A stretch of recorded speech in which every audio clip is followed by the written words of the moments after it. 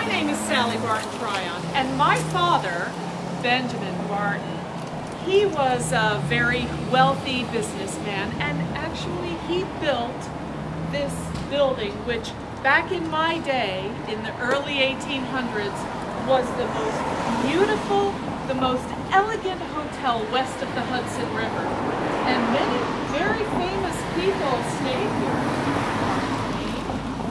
Charles Dickens, The woman who sang. Jenny Lind, Oh, the Swedish God. Nightingale.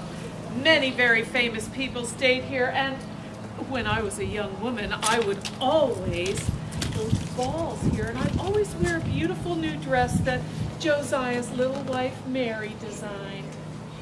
She never did charge enough.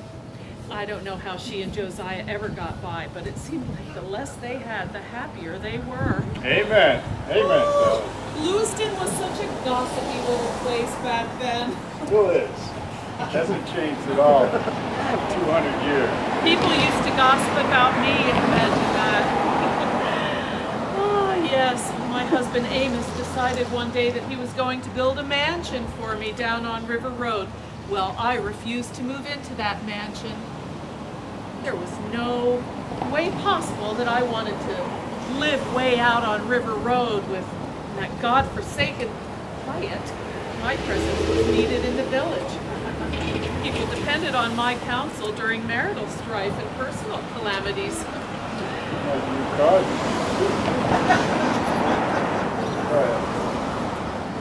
Anyway, I lost my train of thought. Well, let me tell you something. The balls that Sally used to was telling you about, they took place on the second floor here. And music could be heard coming out of those windows and into the street whenever the swells were gathering for a party.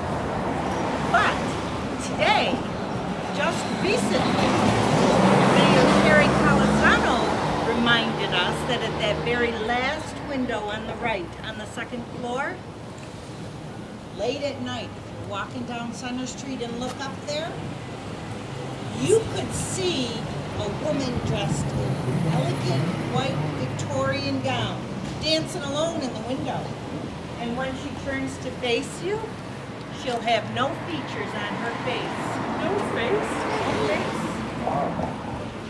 That, that is one of the ghosts that haunt this building. Oh, there are many, aren't there, Catherine? Well, there are a few. There are a few. And the one Sally's referring to, I think she thinks I had something to do with. But I. Well, Two of the workers, when the building was being built, came down to Hustler's Tavern for a little lunch. Liquid. Ha! And when they came back here, they were working on the roof, and one of them fell to his death. The other one, afraid he was going to get fired, picked up that body and put him in the cellar. Now these walls are 18 inches thick, plenty wide enough to hold the body. And he plastered him over. And there that body stayed for decades. Now we know this is true because 61 years later on his deathbed, their worker confessed.